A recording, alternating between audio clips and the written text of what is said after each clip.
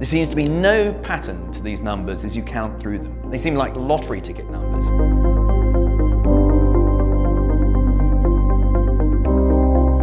Many people think that maths has finished and maybe we know it all, but actually there are mysteries still out there about mathematics that we don't know how to solve.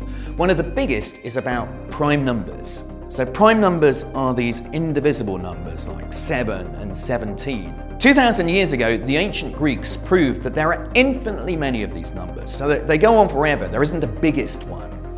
But trying to find some way to tell where the primes is is one of the biggest enigmas on the mathematical books. There seems to be no pattern to these numbers as you count through them. They seem like lottery ticket numbers. If there is a pattern, it might have very big implications because internet cryptography is based on the fact that we don't understand prime numbers. So if you're trying to crack a code on the internet, um, actually you're trying to solve a mathematical problem about prime numbers. So the more we understand about primes, uh, the more insecure our codes are on the internet.